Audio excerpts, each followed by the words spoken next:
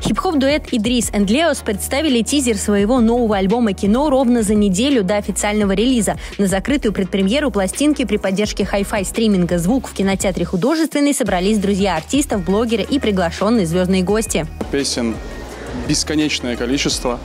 Вот, и постоянно что-то хочется выпускать, и поэтому решили все это собрать вот в альбом и выпустить. За свою карьеру музыканты успели собрать вокруг себя внушительную аудиторию фанатов в России и странах СНГ и выпустить два студийных альбома «Supreme XL» и «Ночью проще писать». А их главный хит "Образ" набрал более 17 миллионов прослушиваний в YouTube. В этот раз артисты решили поэкспериментировать и добавили в альбом новое звучание. Мы смешали и рэп, и даже элементы техно там есть, вот, и дип-хаус есть. И мы все это соединили с балладой, с лирикой, которая была на втором альбоме. Официальная премьера нового альбома для всех слушателей состоится 2 июня. В новом релизе артисты сочетают мелодичный хип-хоп и R&B композиции с более динамичными треками и ускоренным темпом. Пластинку дополняют несколько легких танцевальных песен, предназначенных для лета. Специально для гостей музыканты впервые представили свежие композиции с альбома, а также исполнили свои лучшие хиты.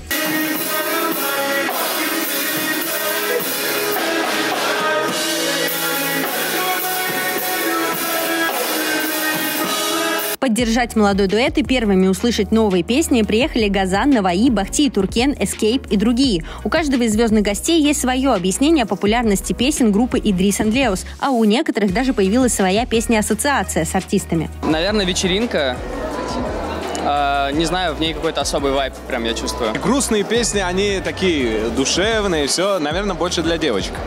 Вот.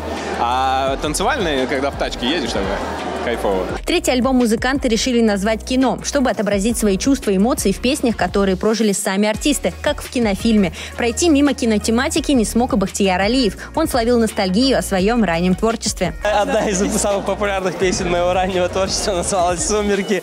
И она просто была придумана на, по мотивам, ну, на самом деле, не фильма, а книги «Сумерки». Кстати, один из членов известной музыкальной группы «HammAli & Navai» признался, что уже давно готовит совместный трек с Idris & Leos и планирует в ближайшее время время выпустить фит. У нас есть, блин, такие крутые треки. Вот с Idris & Leos'ом у меня очень классные треки есть, но мы их даже не выпускали, потому что всему свое время. В этот вечер треки из нового альбома тронули за душу каждого гостя и проникли прямо в сердечко. Идриса Махеева и Османа Сусаева помимо музыки связывает крепкая дружба. А такое сочетание в шоу-бизнесе однозначно сулит успех и взлет песен на первой строчке во всех топ-чартах. Thank you.